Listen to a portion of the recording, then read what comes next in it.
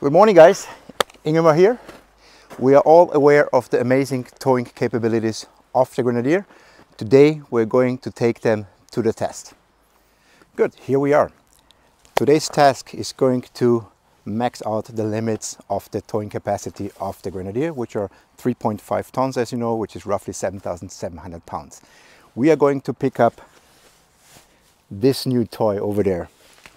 A nice little tractor weighing roughly 2,600 kilograms, which is 5,700 pounds. Together with the empty weight of the trailer, we are at 3.46 tons, uh, so 7,700 pounds, pretty much at the maximum.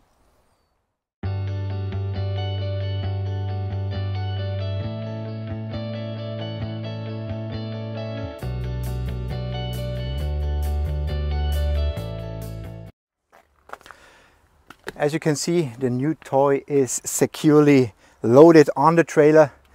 We are ready to go. We see how Loki performs. On the trip ahead of us, roughly 350 kilometers, scheduling four and a half to five hours because we have to keep the speed low. I'm going to talk about the handling and of course the fuel consumption.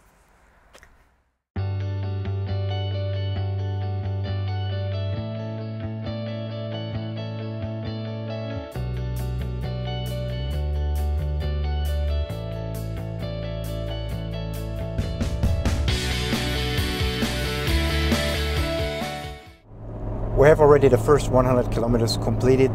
The performance of the car is really, really nice. The Grenadier does it very smooth. Um, the handling is great. Of course, you can feel the weight in the back, but it's still very safe, very stable. Um, we are cruising along with 80 kilometers per hour, which is the maximum legal speed limit here in Austria if you have a trailer weight like that. And are currently on the sixth gear because it's uphill at 2200 RPM. Normally when it's flat, it when goes up to the seventh gear, 1800 RPM, cruising along.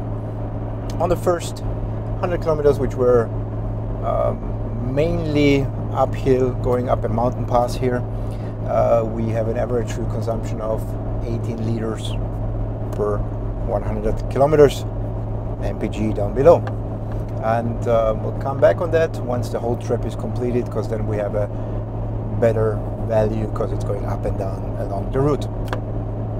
So far, quite impressed and I really like it.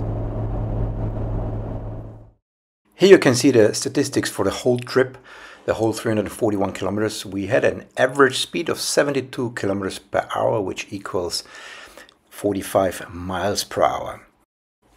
This resulted in a fuel consumption of 15.6 liters per 100 kilometers, which equals 15.1 miles per gallon US and 18.1 miles per gallon UK. So my conclusion, actually it performed as expected. The fuel figures were slightly lower than anticipated, to be honest. Handling was great, so it actually delivers as promised. I hope you found also this video informative. You could find a few informations, values, figures that you were not aware of. If you liked it, please subscribe and see you the next time. Thank you.